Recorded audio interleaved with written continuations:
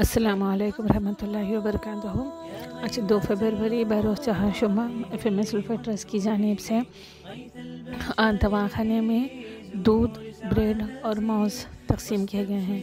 अल्लाह पाक से दुआ है कि अल्लाह पाक तमाम डोनर्स को सेहत कामिल अता करे।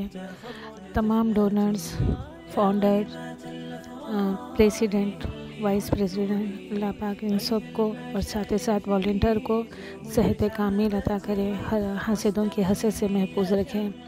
हम सब पे आने वाली हर बला को और मुसीबत को दूर करने खसूस ये प्रोग्राम जो भी अरेंज करे हैं, अल्लाह पाक वो डोनर को हर तकलीफ़ से महफूज रखें। आपकी हर जायज़ मुराद को अल्लाह पाक जल्द से जल्द पूरी करें। आमीन या रब्बुल आलम